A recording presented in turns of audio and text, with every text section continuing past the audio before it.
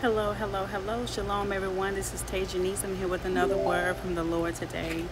Amen. I just want to jump right into this message that the Holy Spirit has given to me to give to you.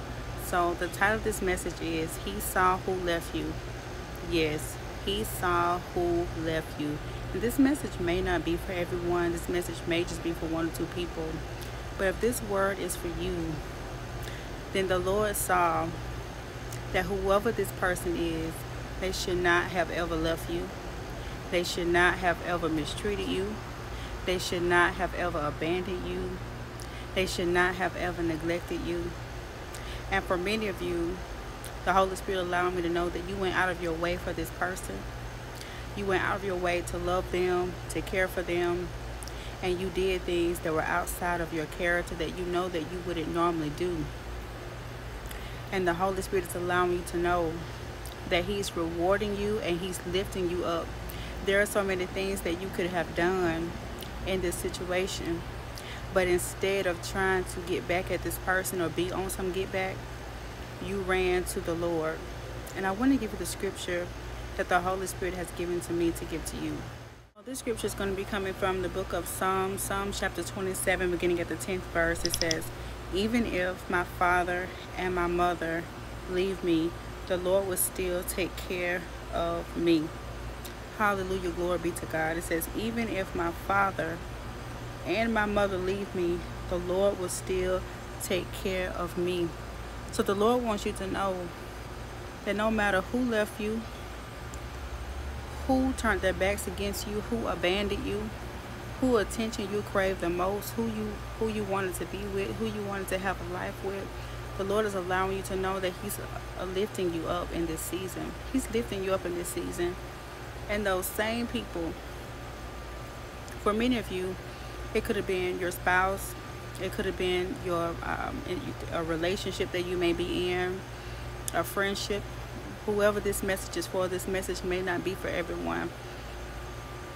But if this message is for you, the Lord has already been speaking to your heart and your mind about this, allowing you to know that this is confirmation. You put so much energy into this person, so much effort into it. And now, for many of you, you are already back a part of this person's life. And it's because, it's because your Father going to take care of you. Whatever it is that the Lord has started within you, He's going to finish it.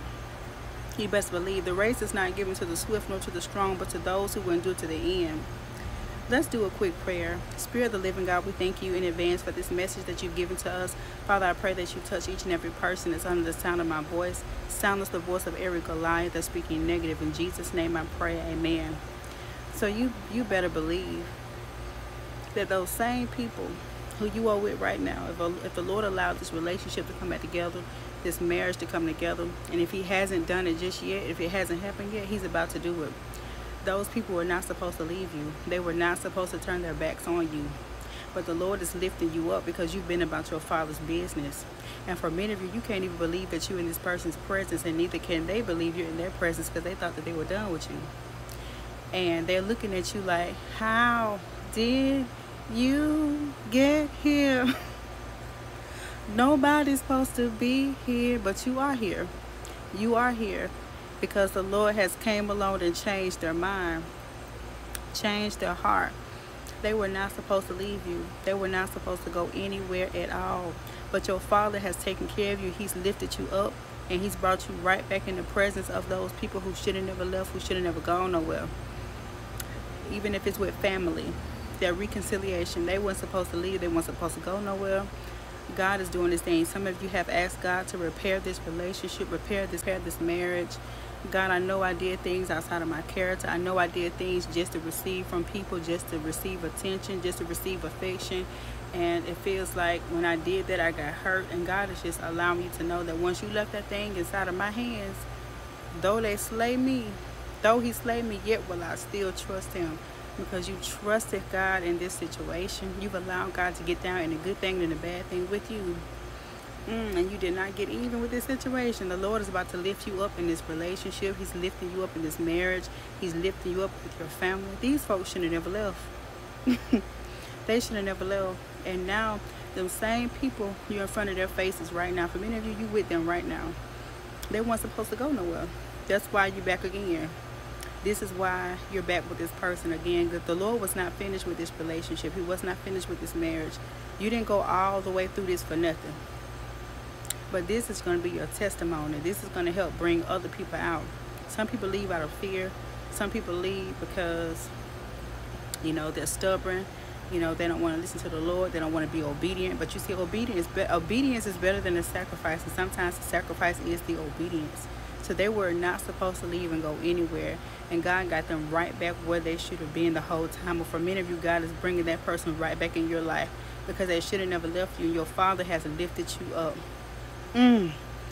I don't know who this message is for today. This message is for somebody today. You don't worry about what went left, what went right, who left this way, who left that way. God is bringing that person back. Mm. Hallelujah. Glory be to God. Let's go to the throne of grace. Spirit of the living God, we thank you for this message. Father God, we silence the voice of every Goliath that's speaking negative. In Jesus' name we pray. Amen. Amen. Shalom in the Lord, meaning peace in the Lord. Hello, hello, everybody. If you are new here, welcome. Don't forget to like, share, and subscribe. As the Lord downloads to me, I'm going to upload to you what the Holy Spirit gives to me to give to you. You guys, this is our year of answered prayers, and we are not stopping until we make hell nervous. The enemy should know that by now. If this message is for you, Jesus, and you know that the Lord is speaking to you through this message, mm, go ahead and sow into this ministry as the Lord lays it on your heart to do so.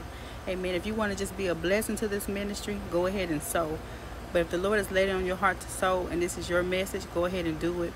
Um, and when you sow, so expecting to reap a harvest. Sow expecting God to get down in a good and bad thing with you. Do like the widow woman did. When she sold into the prophet's hand, God multiplied it. Trust and believe that God is going to multiply in your life. Mm, Jesus. He's multiplying in that marriage and that relationship and that family and that, reu that reuniting that God is doing right now. This message is heavily for somebody today. Ain't nobody mad but the devil. Our faith is the only thing that pleases the Lord. What's for me is for me. Mm, God is getting down in this thing with you. You putting that devil under full-blown depression because he don't see how you got that marriage back, that relationship back. He don't even see that the very same people who left, they, should, they should have never left. And the Lord saw who left you. He saw that they weren't supposed to go nowhere. That's why he bringing them back because he saw that. they weren't supposed to go nowhere. How did you get here, the Lord? How did you get here, the Lord? And I'm coming to stay. I'm here to stay. God's got me. God's got you. He's lifting you up in this thing, baby. I'm telling you. Hallelujah. Glory be to God. People been asking me how can they sell. You can do so by Cash App. I know I'm to send a little hands up to let you know I got it. Cash App, PayPal, Zelle, Super Thanks. Thank you guys for your gifts. So PayPal, Zelle, Super Thanks. Wait a minute. PayPal, Zelle, Super Thanks. I believe that's it. I don't do any checks at this time. Amen. Well, I love you guys with the love of Christ. If you need a prayer request, go ahead and send it to me. Just be patient with me. I love you guys with the love of Christ. You already know there's nothing you can do about it. You know I'll see you in the next video. Shalom.